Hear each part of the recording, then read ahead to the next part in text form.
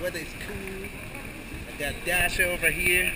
She's very nice. so see you soon.